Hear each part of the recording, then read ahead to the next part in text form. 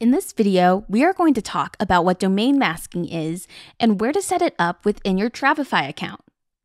Domain masking in Travefy is free to set up and allows you to mask the Travefy URL for your trips and forms and your pages with a domain name that you own. You can do this in two different ways. You can set it up where it's as yourdomainname.com, or if you have a website tied to your domain already, you can do what we call subdomain masking, where it's going to show as trips.yourdomainname.com.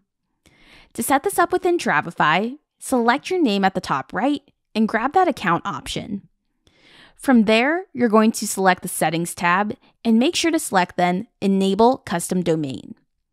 Once you've enabled it, you're going to get this screen here. It's going to ask you one question saying, What type of domain masking are you wanting to set up?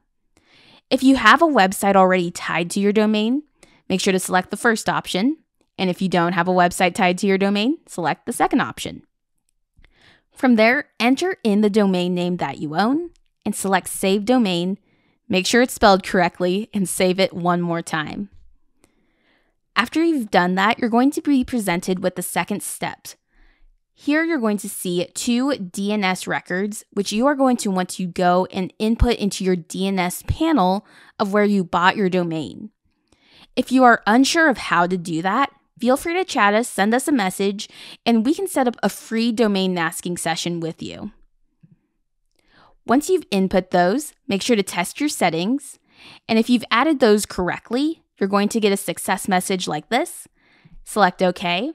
And the last and final step is just going to be waiting for us to send you an email saying that it is completely set up. Once you receive that email, all of your links are going to change, including your trip links, page links, and form links. So any link that your client would see, they'll see your domain name instead of Travefy's. Now, there is one thing that you can do after you receive that confirmation email. For any trips that were created previous to you domain masking, it's still going to show Travefy. However, you'll have the option to switch what we call the platform so it's showing your brand name. To do that, select your trip, select the settings gear, scroll down, and you'll notice you'll now have a platform area where you can select from no platform to the domain name that you are wanting. Once that is complete, select done to save it. But that's it. That's how you can set up domain masking to help brand and personalize your Travefy trips, forms, and pages. Thanks so much for watching, and make sure to check out the rest of our Getting Started guide.